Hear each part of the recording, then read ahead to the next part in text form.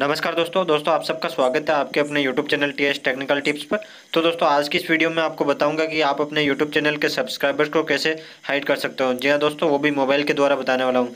तो दोस्तों, अपने सब्सक्राइबर्स को हाइड करने के लिए सबसे पहले आपको अपना क्रोम ब्राउज़र ओपन कर लेना है। क्रोम ब्राउज़र ओपन करने के बाद में यहाँ पर आपको सर्च कर लेना है दोस्तों studio dot YouTube dot com जी हाँ दोस्तों studio dot YouTube dot com आपको यहाँ पे टाइप कर देना है दोस्तों। टाइप करने के बाद में आपको दोस्तों सर्च कर लेना है। तो दोस्तों, यहाँ पे studio dot YouTube dot com search करने के बाद में आपके सामने कुछ इस तरह का पेज ओपन होगा दोस्तों।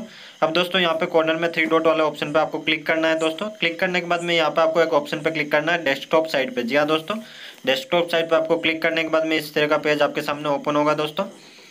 यहाँ पे आपको थोड़ा सा वेट कर लेना है। वेट करने के बाद में नीचे आपको कॉर्नर में एक सेटिंग वाला आइकन शो होगा दोस्तों।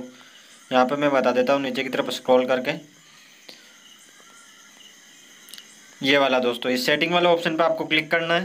क्लिक करने के बाद में दोस्तों आपके सामने सेटिंग ओपन हो जाएगी। अब दोस्तों यहाँ पे सेटिंग के नीचे एक ऑप्शन शो हो रहा होगा दोस्तों चैनल जी हाँ दोस्तों, अब चैनल वाले ऑप्शन पर आपको क्लिक करना है। क्लिक करने के बाद में अब दोस्तों यहाँ पे आपको सेकंड वाली सेटिंग पे आपको क्लिक कर देना है। एडवांस सेटिंग वाले ऑप्शन पे आपको क्लिक कर देना है।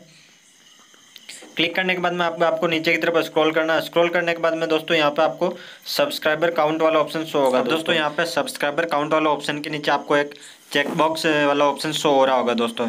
यहाँ पे आपको अनटिक कर देना है दोस्तों। अनटिक करने से आपके सब्सक्राइबर्स हाइड हो जाएँगे दोस्तों। मैंने ऑलरेडी यहाँ पे अपने सब्सक्राइबर्स को हाइड कर रखा है इसलिए यहाँ पे अनटिक बता रहा है दोस्तों। आपको भी यहाँ पे अनटिक कर देना है। यहाँ पे दोस्तों इस इस चेक बॉक्स वाले ऑप्शन पर क्लिक करके आपको यहाँ पे एंटिक कर देना अनटिक करने के बाद में यहाँ पे आपको दोस्तों सेव वाले ऑप्शन पर क्लिक कर देना है। जी हाँ दोस्तों, यहाँ पे मैंने ऑलरेडी अपने सब्सक्राइबर्स को हाइड कर रखा है, इसलिए यहाँ पे सेव वाला ऑप्शन शो नहीं हो रहा दोस्तों। यहाँ पे आपके सामने अपने सेव वाला ऑप्शन शो हो जाएगा दोस्तों। आपको इस सेव वाले ऑप्शन पर क्लिक कर देना है दोस्तों। जैसे ही दोस्तों आप अपने सेव वाले ऑप्शन पर क्लिक करेंगे, आपकी सेटिंग यहाँ पे सेव हो जाएगी। तो दोस्तों, इस तरह से आप अपने सब्सक्राइबर्स को हाइड कर सकते हो। दोस्तों, उम्मीद करता हूँ कि दोस्तों ये वीडियो आपको पसंद आया होगा। अगर दोस्तों वीडियो पसंद आया हो तो वीडियो को लाइक कर ले और चैनल पर नए हो तो चैनल को सब्सक्राइब करके साथ में नोटिफिकेशन बेल आइकन को ज़रूर प्रेस कर ले ताकि जब भी कोई ऐसी इंटरेस्टिंग वीडियो अपलोड होगी, उसकी नोटिफिकेशन आपको सबसे पहले मिल जाएगी।